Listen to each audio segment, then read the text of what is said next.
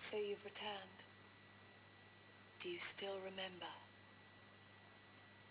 The desperate cries of a girl, pleading for help. It began with the Great Chasm. The crystals fell into darkness, one by one, heralding the world's end. Then you came, and you met them, four warriors of. The first was Tiz. He lost everything to the chasm, but the strength he gained from your soul allowed for his miraculous survival. As he stood on the precipice of despair, a girl appeared, offering hope. She was Agnes, the last person in the world who could return light to the crystals. Guided by the fairy Airy, the two set forth on their quest.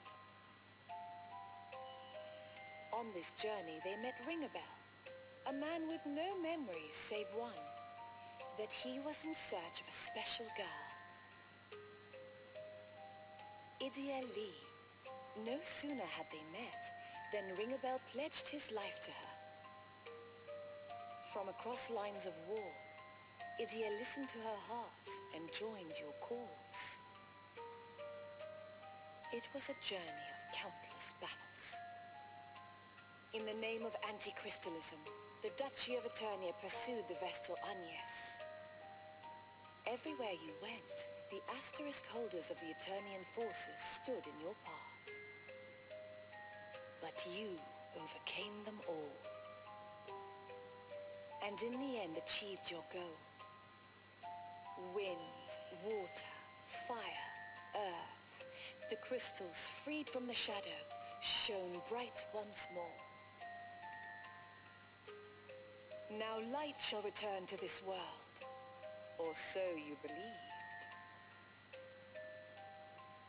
Then a great pillar of light rent the sky, ripping through time and space to connect to a parallel world. On and on it hurtled, tearing countless chasms through countless worlds. You thought you had saved the crystals, but it was all an elaborate hoax.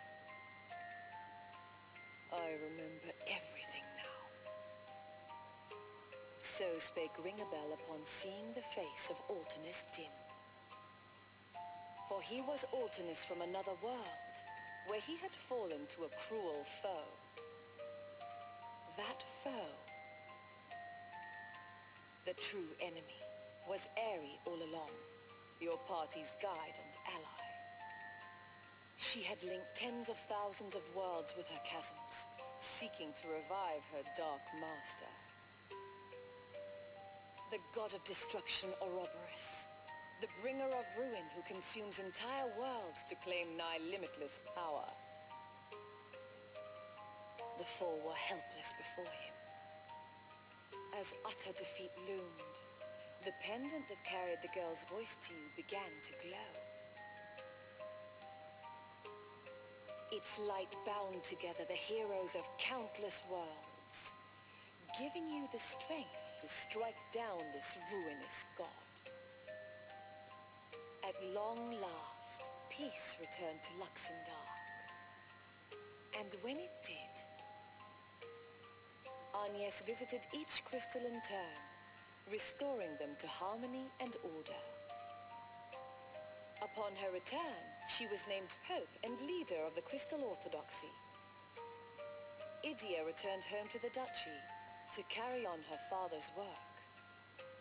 Her eyes open from her experiences. She strives to lead her homeland into a new era. Ringabel went back to the world he hailed from. His reasons were known to himself alone. Perhaps he remembered some long-forgotten duty. And Tiz had come to realize that there was another soul residing within him. Yes, your soul. I suppose it's time to return what I borrowed. With those words, he fell into a deep slumber. But that was then. And now, a new tale must be told.